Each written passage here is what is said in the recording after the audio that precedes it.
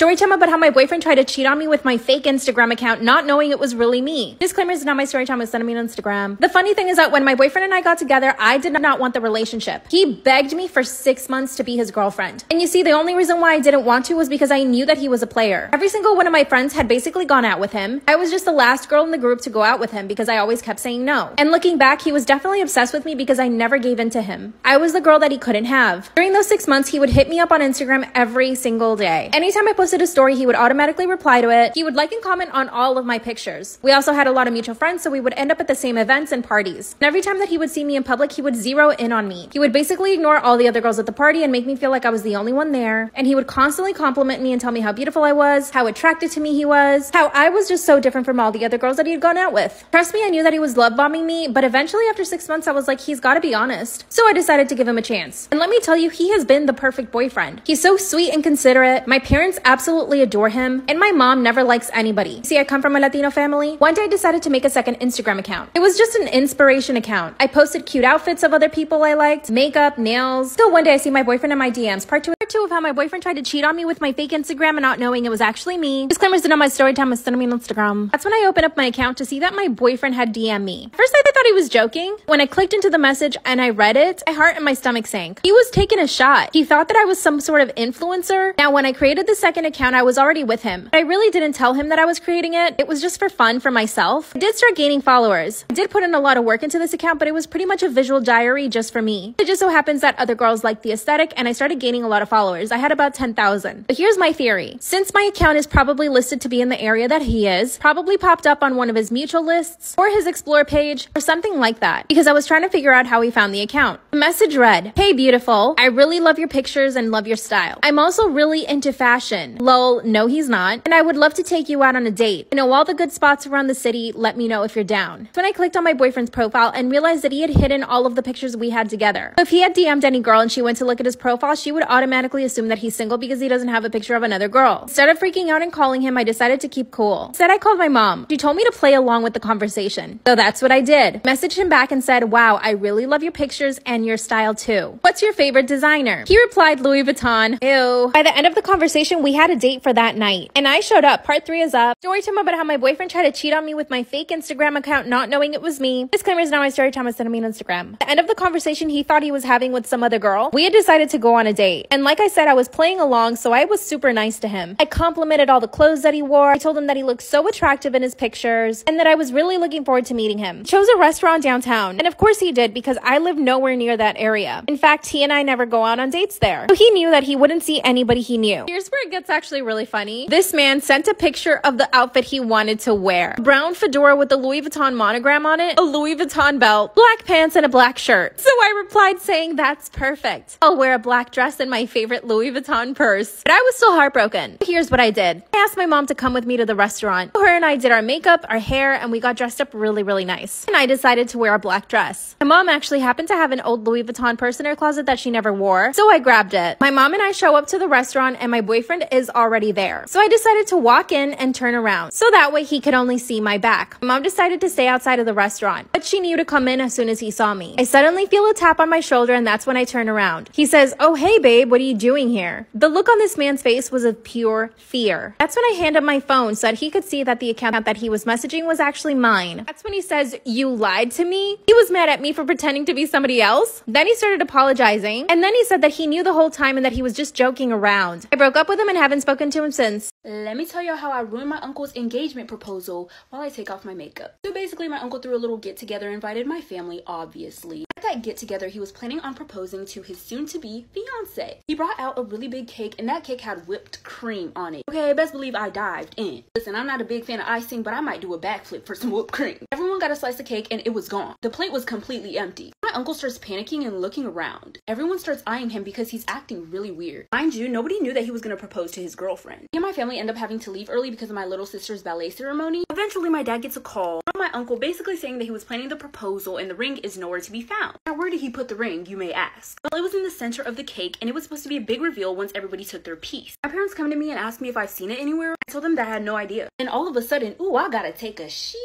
When I got to the bathroom, I was blowing up the toilet, okay? I felt something real rough pop out my booty hole. I turn around to look because it hurt and I see a ring in the toilet bowl floating amidst my diarrhea. Part two of how I ruined my uncle's engagement proposal while I take off my makeup. So like I said, after I ate the cake at the engagement party for my uncle's proposal, I got really bad diarrhea. And when I go to the bathroom, I shit out the ring. So a lot was going through my mind at this moment. I didn't know if I was supposed to grab it? Do I reach into my diarrhea and take it out? Do I rinse it and then give it back? Or do I just flush and act like I didn't see shit? Who would really want a ring that was sitting in somebody's diarrhea? Even if I rinsed it, even if I washed it with soap, it still had the diarrhea particles on it. There's all different types of creases in rings. So best believe I flushed that shit. Act like that whole thing did not just happen. Well, things took a turn for the worse once my uncle said that he paid $10,000 for that ring. I felt extremely guilty. I'd rather feel guilty than admit to anybody what happened. Until this day, nobody in my family knows what happened to that ring. I will live with this secret until the day that I die.